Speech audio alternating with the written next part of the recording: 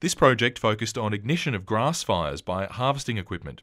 These ignitions and the impact of the fire has huge social effects on small, valuable agricultural communities.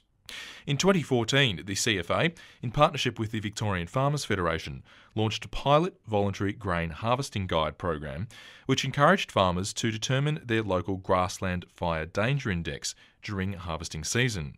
The program was initially piloted in Warracknabeal and Ebenezer, where local farmers were encouraged by their local CFA members and the Victorian Farmers Federation to take part in the program.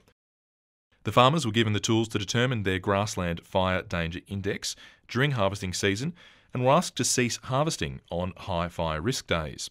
To calculate their grassland fire danger index, the farmers used localised factors including relative humidity, temperature, wind speed, fuel curing, crop type, and took into consideration where there are any fire breaks in the close proximity.